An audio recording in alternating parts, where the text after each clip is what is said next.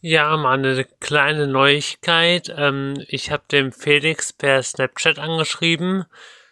Hi, ich bin's Justus, bitte melde dich mit meiner Telefonnummer. Und jetzt hat der Felix mich geedit und der Felix hat mir jetzt geschrieben, er kennt keinen Justus. Also der Felix hat mir geschrieben, ich kenne keinen Justus, obwohl das nicht stimmt. Dann habe ich dem Felix geschrieben, doch, wir kennen uns.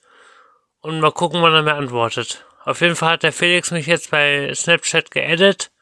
Und ähm, ich bin immer gespannt, ob er meine Nachrichten liest und öffnet und ob er mir überhaupt antwortet.